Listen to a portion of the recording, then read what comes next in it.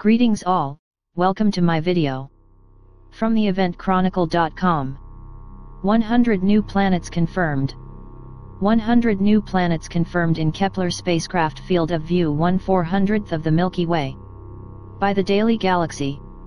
We started out analyzing 275 candidates, of which 149 were validated as real exoplanets. In turn, 95 of these planets have proved to be new discoveries, said U.S. doctoral student Andrew Mayo at the National Space Institute, DTU Space, at the Technical University of Denmark. This research has been underway since the first K2 data release in 2014. This brings the total number of new exoplanets found with the K2 mission up to almost 300. The research was conducted partly as a senior project during his undergraduate studies at Harvard College. It also involved a team of international colleagues from institutions such as NASA, Caltech, UC Berkeley, the University of Copenhagen, and the University of Tokyo. The Kepler spacecraft was launched in 2009 to hunt for exoplanets in a single patch of sky, but in 2013, a mechanical failure crippled the telescope. However, astronomers and engineers devised a way to repurpose and save the Space Telescope by changing its field of view periodically. This solution paved the way for the follow-up K2 mission, which is still ongoing as the spacecraft searches for exoplanet transits. These transits can be found by registering fading in light caused by the shadow of an exoplanet as it crosses in front of its host star. These fadings are indications of exoplanets, which must then be examined more closely in order to confirm their nature. Exoplanetary research is a relatively young field. The first planet orbiting a star similar to our own Sun was detected in 1995. Today some 3,600 exoplanets have been found, ranging from rocky Earth-sized planets to large gas giants like Jupiter. It's difficult work to distinguish which signals are actually coming from exoplanets. Mayo and his colleagues analyzed hundreds of signals of potential exoplanets to determine which signals were created by exoplanets and which were caused by other sources. We found that some of the signals were caused by multiple star systems or noise from the spacecraft.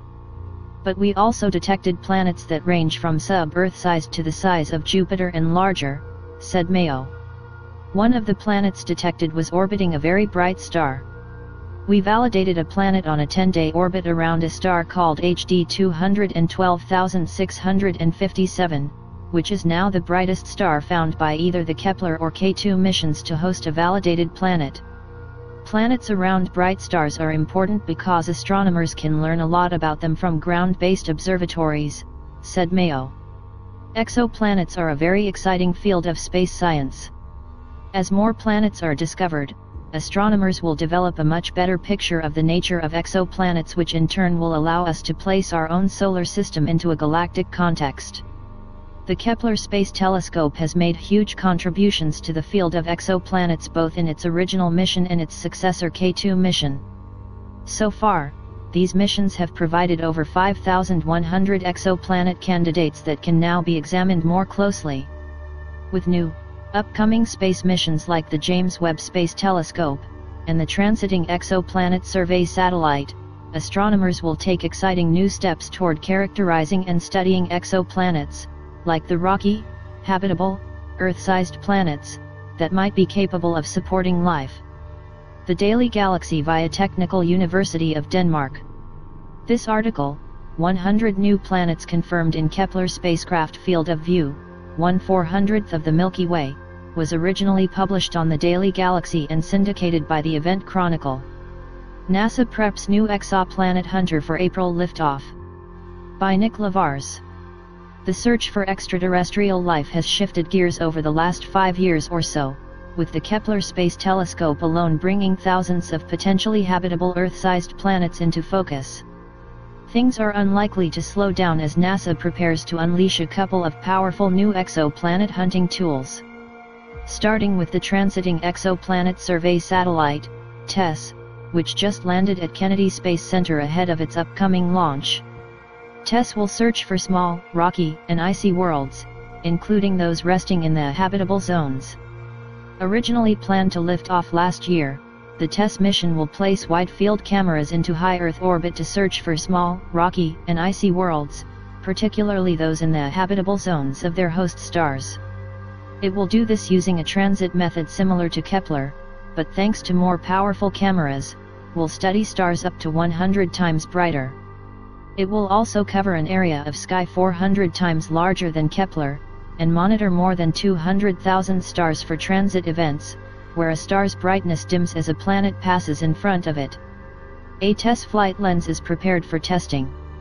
The satellite spent 2017 at the aerospace manufacturer Orbital ATK's facility in Virginia, as engineers assembled and tested its components.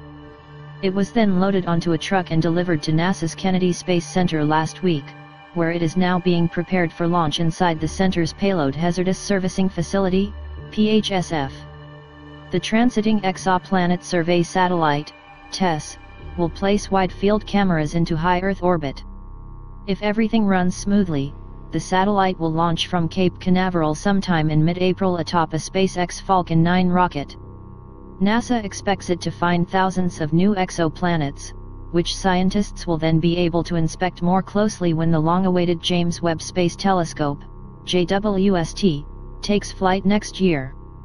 That particular instrument, which is expected to launch from French Guiana sometime in 2019, will play a massive role in the study of exoplanets. Such as those making up the TRAPPIST-1 system discovered last year. Poised to take over from Hubble as NASA's premier orbiting telescope, the JWST spans the size of a tennis court, and will be equipped with advanced tools to study the atmospheres of these distant worlds. These include temperature measurements, investigating the chemical compositions of atmospheres, and other signs that indicate whether these planets could host forms of life. Source, NASA. Thank you for watching. Please help spread the word by sharing and subscribing for more thought-provoking content, and give us a thumbs up if you liked the video. Your support is greatly appreciated. Be aware, and stay safe.